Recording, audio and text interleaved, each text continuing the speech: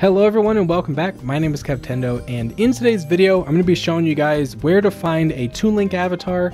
Um, I don't know if other people can ride in it, but this Toon Link avatar is able to summon the King of Red Lions. So, and you can just, you know, ride around on it. I think it plays the music when you do that as well, but I'll go ahead and show you guys in today's video. So the world you want to head to for today's video is a PC avatar world called Colonel's Avatars Video Game Avatars over here by Colonel himself. now, once you get into this world, this one requires a little bit of setup before you can actually get into the world and start, uh, you know, getting to the avatars. So what you will do, you'll see here in front of me, I'm in this black box all the way around. There's nothing except right in front of me, which is a Nintendo 64, a Legend of Zelda Ocarina of Time cartridge, and a TV. You'll go ahead and insert the cartridge by clicking on it. That'll slowly go into the Nintendo 64. The TV will turn on. It'll say Nintendo 64 and it will load up the Legend of Zelda Ocarina of Time intro. Now you can you can head up here and like kind of look out like it's a window. Um, and then there goes the the giant shield there. there goes Link in the background with Epona. And once it says, oh, I guess you can just press start now, but it'll say like the main logo, the it'll say Zelda. You can uh, aim at the controller here. It'll say press start. You'll click on that. It'll say press start there, and it'll launch the game. And once you do that, you will spawn right here out front of the Temple of Time.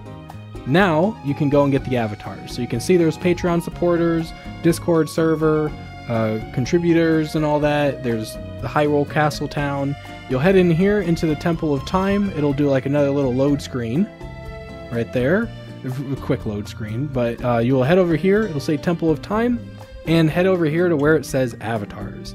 Now, when you click on this, off to the right, you will see a bunch of different Legend of Zelda avatars. Off to the left, you will see a bunch of other video game avatars. And once you've done that, you will head over here to the Breath of the Wild Zelda and head behind her, and here's the Toon Link avatar. And you can see it's a PC avatar. Here is the Toon Link avatar. Now, this might this might actually be the best Toon Link avatar that I've seen. Possibly. Uh, but this one, you can see he's got the, the hero shield, he's got his sword there. Um, you're able to pull it out. Once you do it, it starts playing the battle music. That's a big sword. Wah! um, so he's got that. What else can he? What else can he do? He can make faces, I guess, when he's pointing. hey. um, oh, here it is. If you do like the thumbstick and the grip, I don't know keyboard controls because I don't play on keyboard and mouse. Uh, I just play with my VR headset uh, which is still on PC, by the way. And once you do that, you will hit your thumbstick and then hold your grip stick, and you can summon the King of Red Lions to surf on. Oh, hi.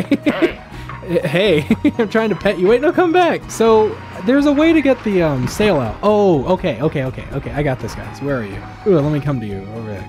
And then, in order to get the sail out, you um, on your other hand, because you need two hands for this, so grip, thumbstick, summon him. On your other hand, whichever hand is the opposite of what you're using to summon him, do a closed hand. So that means, oh, hi. do a closed hand, which means hit all the buttons. and then you can open up the sail.